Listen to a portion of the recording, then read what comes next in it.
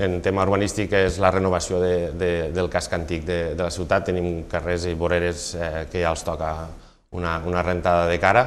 eh, i després tenim, eh, volem apostar per seguir aportant la, la cultura a la ciutat, eh, segurament en la rehabilitació,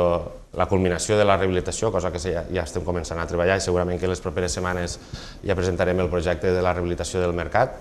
eh, convertir-lo en un mercat de la cultura. Eh, S'ha estat treballant, portem molts anys treballant intentant eh,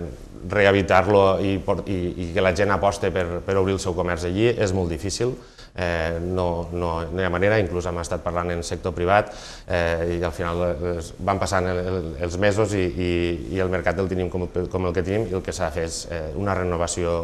total, està al centre del poble, podem tindre un centre cultural de primer nivell al centre del poble i això és l'aposta la, la, que farem.